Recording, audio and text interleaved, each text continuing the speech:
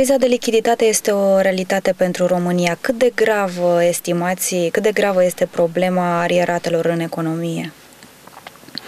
Arieratele în economie a constituit întotdeauna o problemă încă uh, de acum 20 de ani. Mi-aduc aminte că lucram în Ministerul Finanțelor la acea dată uh, și odată cu, uh, cu transformarea societăților și cu liberalizarea economiei, societățile au început să acuze, acuze lipsa de lichidități. Iasa arieratele, în marea lor majoritate, s-au, s-au situat în zona companiilor de stat.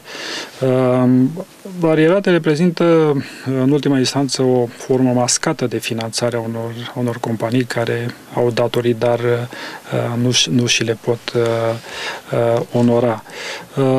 Pentru uh, economie este important, pentru că o economie sănătoasă trebuie nivelul acestor arierate, care pot să apară la un moment dat, însă conjunctural, uh, el trebuie să fie uh, minimal și cu totul uh, accidental, întâmplător. Da. întâmplător.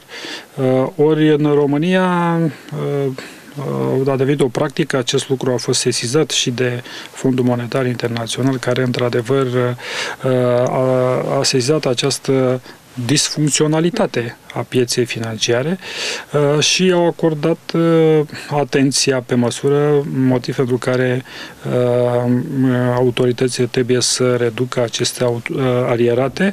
Aceasta reprezintă și o modalitate de însănătoșire a, a, a activității financiare uh, a unei companii și uh, ține până la urmă de respectarea unei discipline financiare valabile în, uh, în toată lumea. Să le reducă cum? Cam care ar fi soluțiile?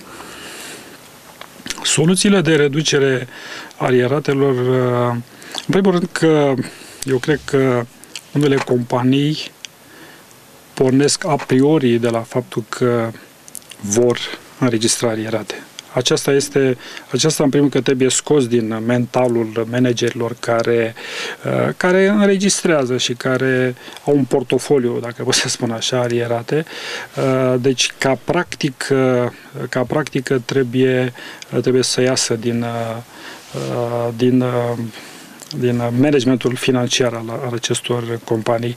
În al doilea rând, cred că este vorba de respectarea unei discipline financiare care, indiferent de tipul de companie, de modul de organizare, de uh, proprietarul companiei de stat sau privată, trebuie să, uh, să observe cu toții aceleași, aceleași reguli.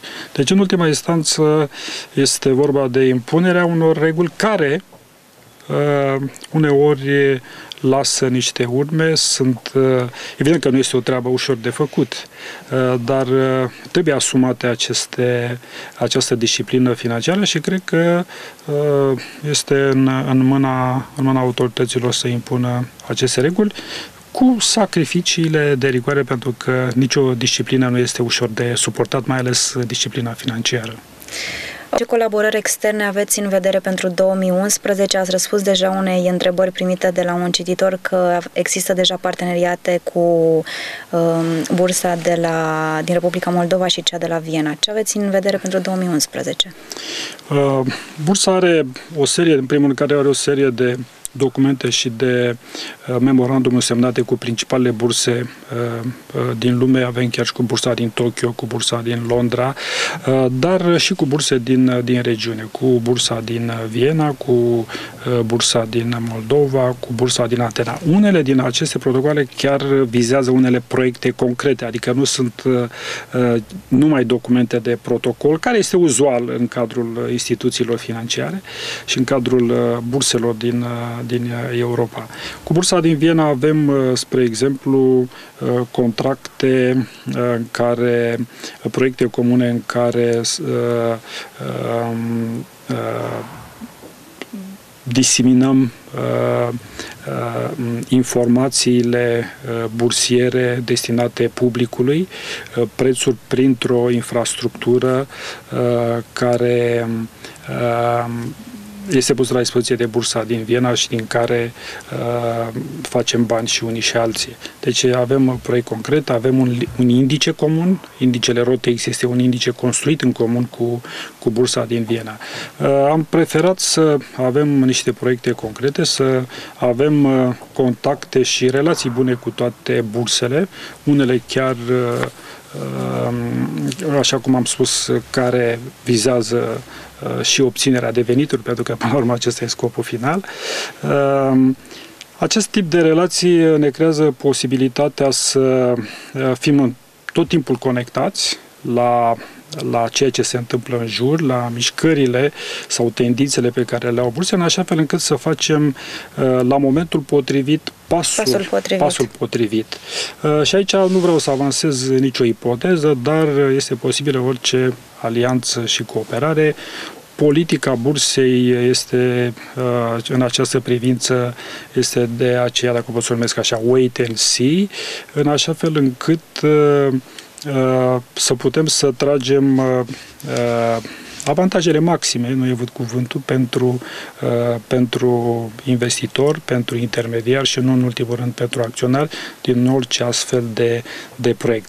Pentru 2011 uh, vrem să strângem relațiile cu bursa din, uh, uh, din, din Moldova, cu piața de capital din Moldova.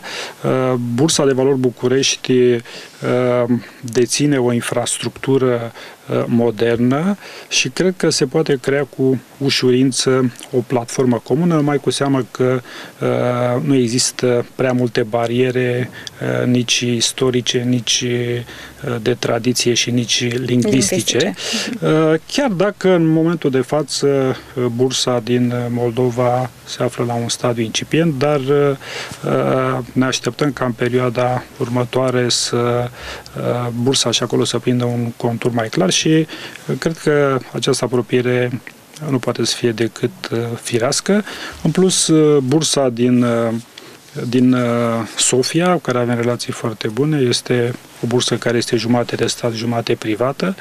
Uh, avem uh, contacte și relații pe partea de post-tranzacționare cu societatea din grup, cu depozitarul central și avem o relație foarte bună. Pe partea de post-tranzacționare, cooperarea cu piețele financiare europene este este mai, mai, mai articulată, în sensul că chiar există o infrastructură uh, prin care depozitarul central este conectat la 16 depozitari europeni, infrastructură care asigură uh, uh, tranzacțiile cross-border și care asigură deținerea și decontarea în timp util și în condiții de siguranță.